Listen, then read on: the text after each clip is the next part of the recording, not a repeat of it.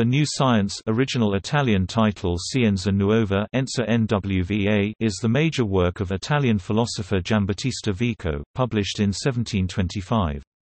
It has been highly influential in the philosophy of history, sociology, anthropology, and for historicists like Isaiah Berlin and Hayden White. The central concepts were highly original, and prefigured the Age of Enlightenment.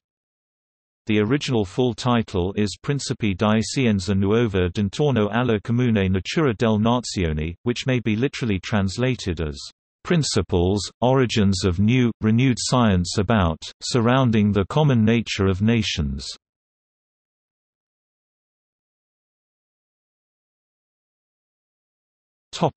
Production and publication In 1720, Vico began work on the Scienza Nuova as part of a treatise on universal rights. Although a full volume was originally to be sponsored by Cardinal Corsini the future Pope Clement XII, Vico was forced to finance the publication himself after the cardinal pleaded financial difficulty and withdrew his patronage. The first edition of the New Science Scienza Nuova, rather than Nuova Scienza, for which Galileo had been known appeared in 1725, and a second, reworked version was published in 1730, neither was well received during Vico's lifetime. Vico himself worked on two revisited editions, that were published under new titles, the first in 1730 and the second posthumously in 1744. It was the first work by Vico to be written in Italian, while his previous ones were written in Latin.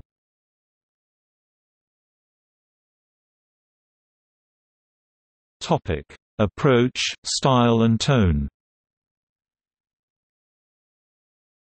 In its first section, titled Idea of the Work, Idea dell'opera, the Scienza Nuova 1730 and 1744 explicitly presents itself as a Science of Reasoning, Scienza di Ragionare. Indeed, the work cf, most notably the section of the elements, includes a dialectic between axioms authoritative maxims or degnita and reasonings ragionamenti linking and clarifying the axioms. Vico specifies that his scienza reasons primarily about the function of religion in the human world, idea of the work, and in this respect the work comes to be a civil theology reasoned from divine providence. Vien ad essere una teologia civile ragionata della provvidenza divina. Reconsidering divine things viz. the conduct of divine providence. Within a human or political context, Vico unearths the poetic theologians Poetae theology of pagan antiquity, exposing the poetic character of theology independently of Christianity's sacred history and thus of biblical authority CEG Scienza Nuova 1744. Of the Elements. CXIV, Vico's unearthing of poetic theology anticipated already in his De Antiquissima Italorum Sapientia 1710, on the most ancient wisdom of the Italians confirms the philosopher's ties to the Italian Renaissance and its appeals to Theologia Poetica.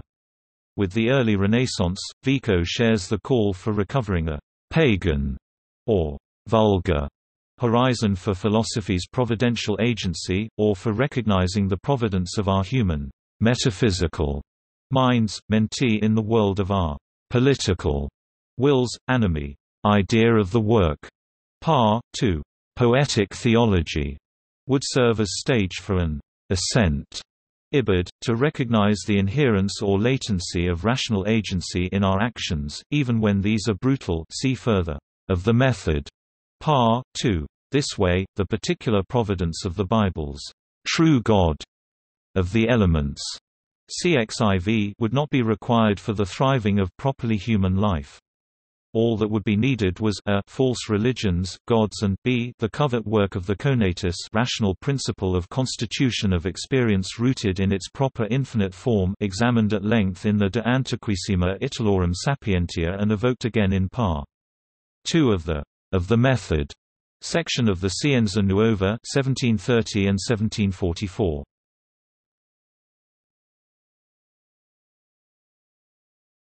Topic Cyclical history Corsi e ricorsi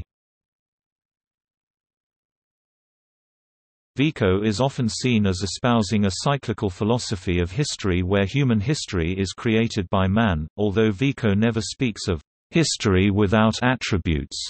Paolo Cristofolini, Vico Pagano e Barbaro, but of a world of nations, which is more, in the 1744 Scienza Nuova especially the conclusion of the work.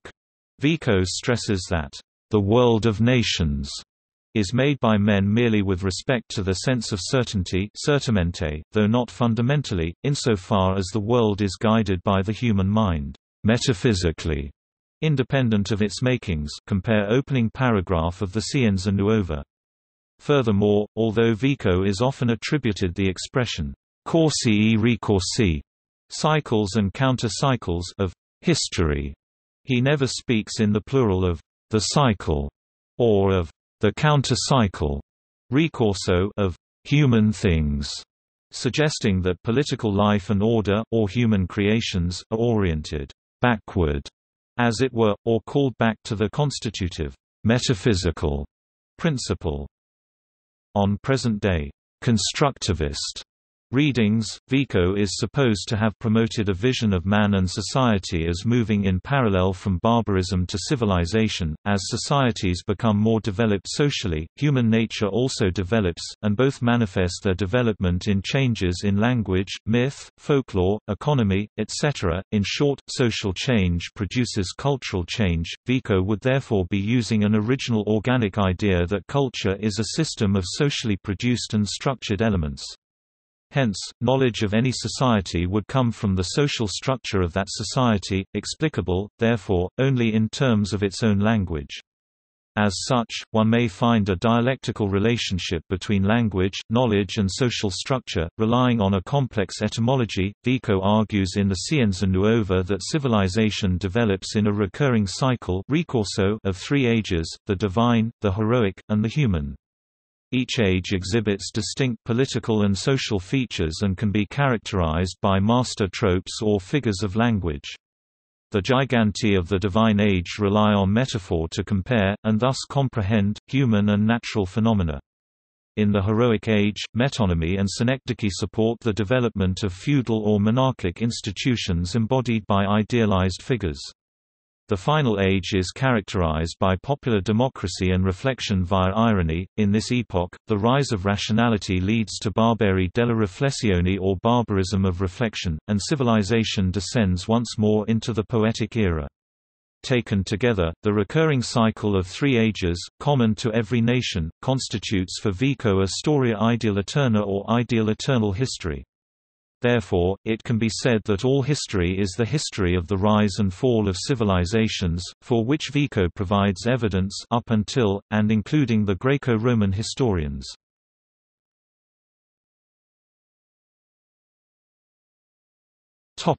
Ideas on rhetoric applied to history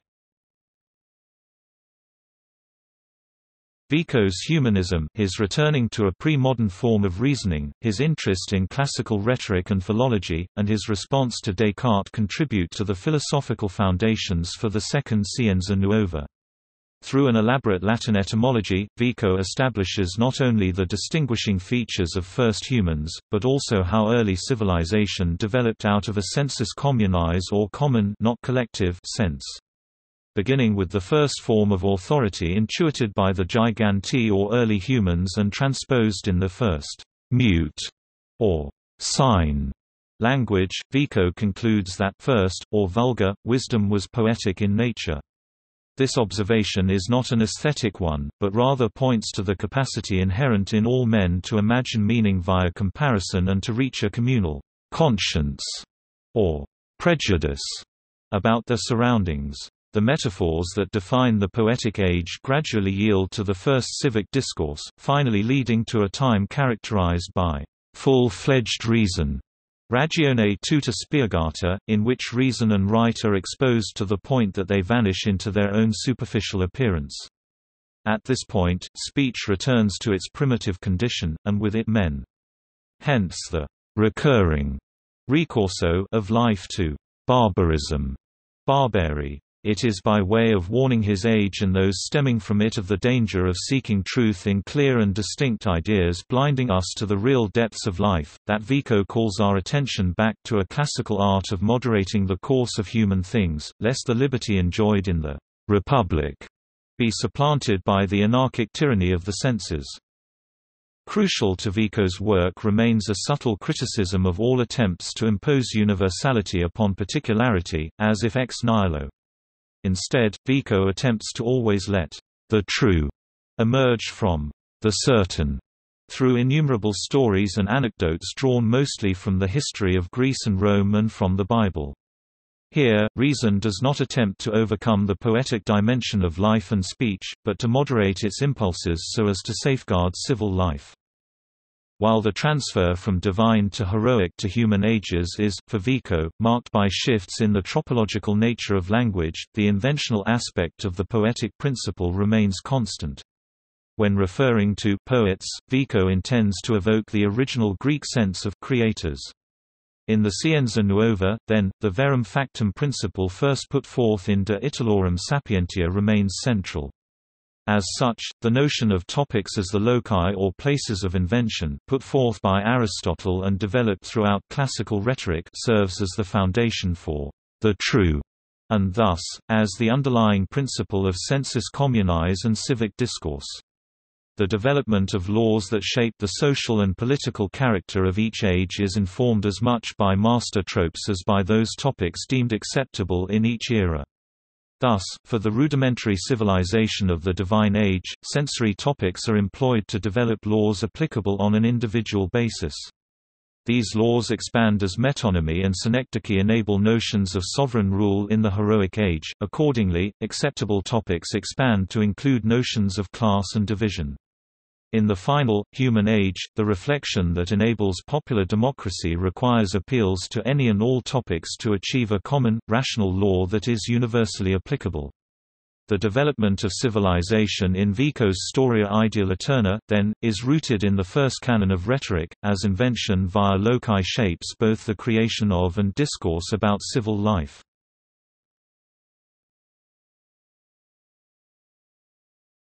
Topic: Reception and later influence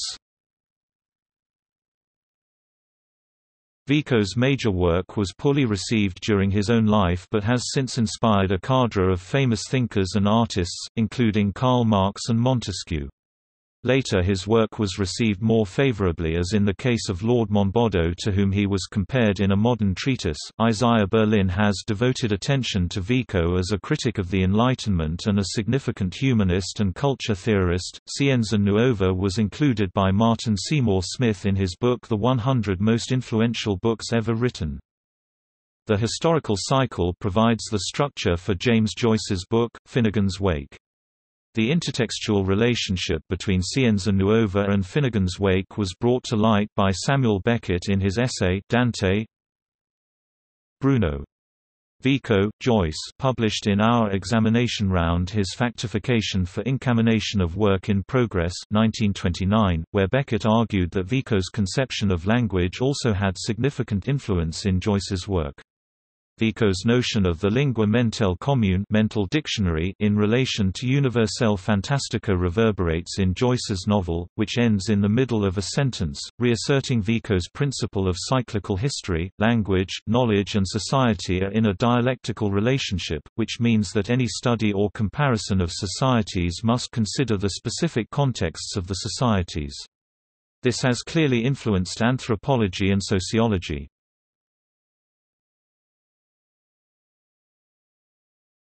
Topic. See also